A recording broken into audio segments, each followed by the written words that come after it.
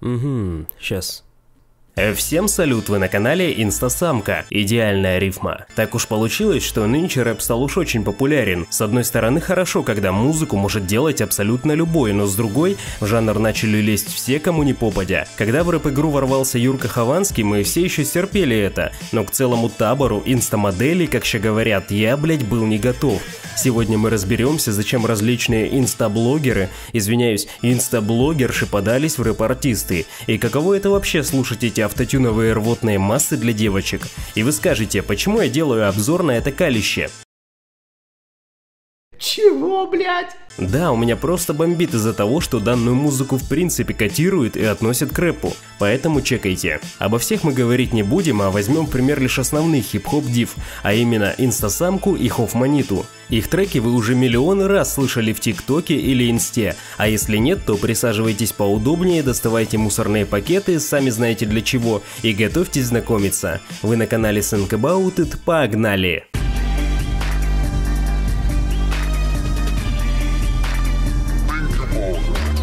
В общем, на сегодняшний день на примере многих исполнителей мы смогли убедиться, что чтобы делать музыку, не обязательно иметь какие-то творческие способности и креативное мышление. Главное сделать все качественно, вобрать в себя все современные тренды, запустить рекламу в инстаграме и все. Тебя уже слушают миллионы 13-летних школьниц, а ты ездишь с турами по всей стране. В этом мы убедились на примере группы Френдзона, но сейчас не о ней. И для начала мы обсудим инстасамку. Бэ! Инстасамка. Многие уже слышали о ней в череде видео от других блогеров, но сейчас мы не будем обсуждать ее конфликты. Инстасамка это обычная девушка, которая по ее словам заебалась жить в нищете и решила зарабатывать в инстаграме, тем самым прокормив свою семью.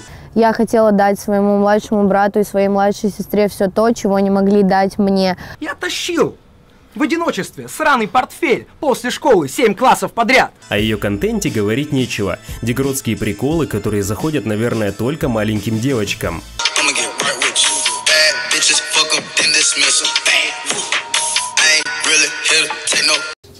Какой стыд. Но это еще половина беды. После того, как начали капать бабки, она задумалась, а не заняться ли мне музыкой? И вот, встречайте, инстасамка трек Холла. Хола,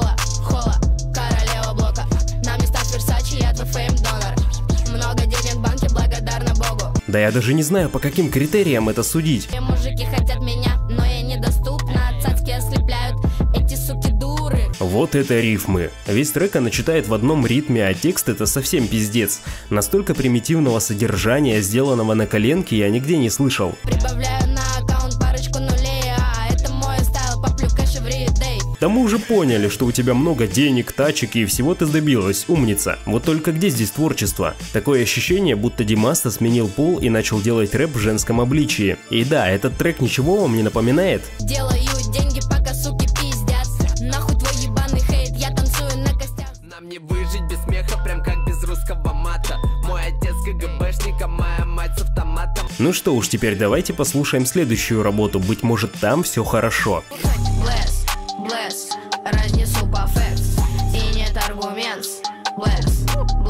То же самое, только читает она еще скучнее. Такое ощущение, что и просто лень делать это. И ощущение вторичности не покидает меня еще с первого прослушивания. Блэс, блэс, Мерседес, это мой блэс Впереди фрейком прям во флэс, флэс Едем опять во флэс, я везу полный кейс Флэс, флэс, едем опять во флэс Я везу полный кейс И при этом она имеет многомиллионную аудиторию малолетних девочек и катает туры на десятки городов. Печально, когда действительно талантливые артисты живут на последние гроши, а вот такие бездарности зарабатывают на проходном штамповании песен огромные суммы. Любую хуету нужно рекламировать. Самое главное, чтобы тебе заплатили. Получаешь серебряную кнопку и потом начинаешь делать музыку, чтобы всраться по полной программе. Да что ты, черт побери, такое несешь? Я уверен, что как только ее хайп стихнет, они тут же забудут, потому что тренды очень быстро меняются, а вот настоящее творчество будут помнить десятилетиями. В общем, инстасамка, завязывай, пожалуйста. Я понимаю, что музыка это общий дом для всех, но вы ведь не пускаете в свой дом всяких тупых шкур из инстаграма, верно? А дальше только хуже. Бэ! Анна Михеева, которая раньше снималась в сериале «Пацанки». Огромной славы она там не сыскала и решила перебраться в место, где, чтобы пропиариться, нужно просто светить жопой. Очередная инстамодель из-за огромного количества подписчиков и вследствие ЧСВ решила, что также имеет способности к музыке. Давайте послушаем один из ее треков. Хочу это, хочу то, хочу все и ничего.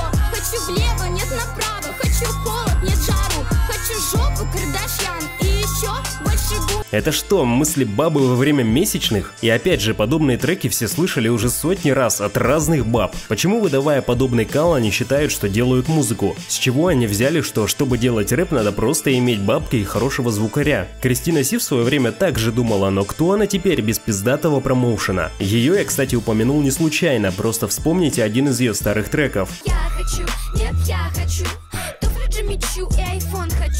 Да это абсолютно то же самое. Как можно настолько бездарно обсасывать настолько примитивные темы? Все эти строки о том, какая ты крутая, сколько у тебя бабок, не несут под собой ничего, и при этом звучит все это ужасно. В итоге остается пустышка, приправленная ярким образом. И при этом всем они еще и спорят, чьи песни пизже. Здесь как никогда применима аксиома Эскобара. Что то хуйня, что это хуйня.